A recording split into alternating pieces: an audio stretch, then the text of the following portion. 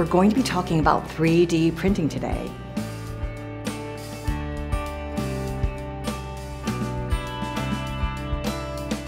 Nowadays, everyday people are attaining global popularity with their own short film clips.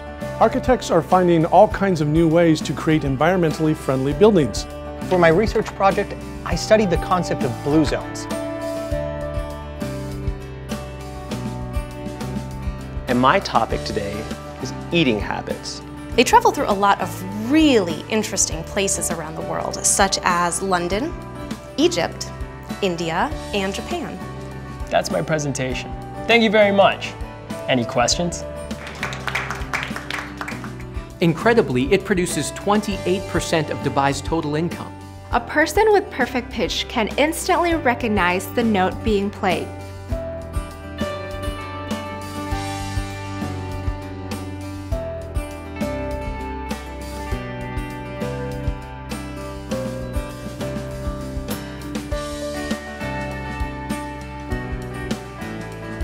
Is time the most important factor when deciding to open a franchise?